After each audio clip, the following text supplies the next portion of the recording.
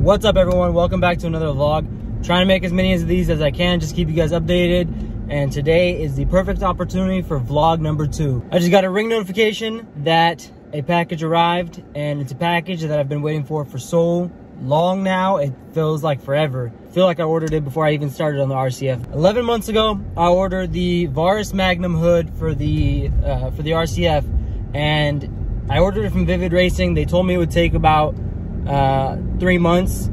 Then they kept delaying it over and over again, lying to me about the shipping, which is what really pissed me off. I understand a lot of people got delays going on right now, but it just really frustrated me that they kept giving me another date after another after another instead of just being like straightforward that this is when you can expect it to arrive. So long story short, I just seen it. It finally arrived. They called me last week on like Thursday to set up the appointment. So I knew it was going to be coming today, but it finally arrived. I'm heading home right now to go unbox it, see how it is. I might not unpackage it all the way, even though I really want to see how it looks. Um, I'm not going to unpackage it all the way because I'm selling it for the same price I bought it for, a little bit extra for the shipping. But I'm working with a company overseas um, for a custom hood. He's doing the exact same hood. He's going to make a replica. I've seen his work before. Um, he actually posted in the RCF Facebook group one week after I ordered this that he was going to do a group buy discount price, and I missed out on that. Um, but he's making the same exact hood instead of carbon fiber, he's making it for me in forged carbon for the first time he's ever done it.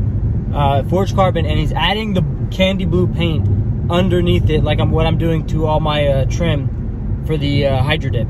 So he's gonna make an actual real forged carbon hood with the candy paint instead of it being Hydro Dip like everything else. So that's gonna be the one real forged carbon part on my entire car that I have. Uh, slowly, me and him are gonna be working together, maybe doing the uh, the wing, maybe doing the diffuser, some side skirts, whatever. He can make anything I want. I just have to send him out the parts so he can make a mold and then he'll send it right back to me. Got the box cutter. Got to be careful how I'm going to open this one because I'm about to ship it straight back out. So let me get this open and show you guys what it actually looks like. Moment we've all been waiting for, boys. I really hope that nothing is damaged. I've seen some dents on the sides of the boxes, but I'm hoping it's in good condition. Woo! Look at her. Just look at that.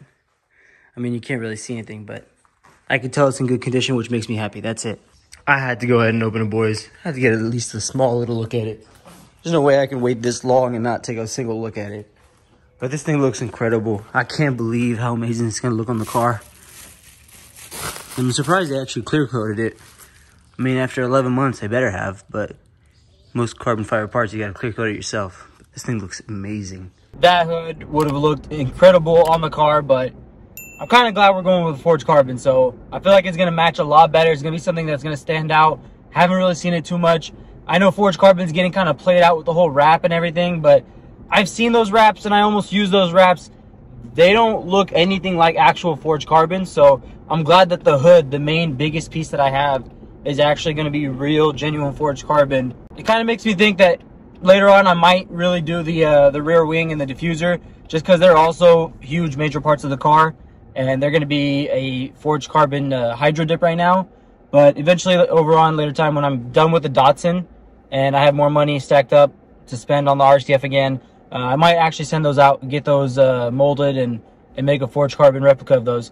And it'll be the first ones out there. Nobody has ever done it before. Thanks for watching, guys. I know we've been waiting for this one part for so long, but it finally got here, and the car is so close to being complete. Stay tuned for the next video.